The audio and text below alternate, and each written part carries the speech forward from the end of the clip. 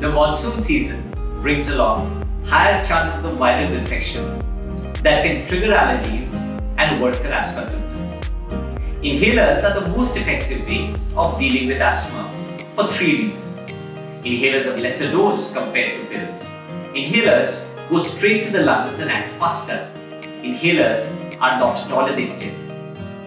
So in the monsoon, don't miss your prescribed inhaler dosage and keep your inhaler handy while traveling.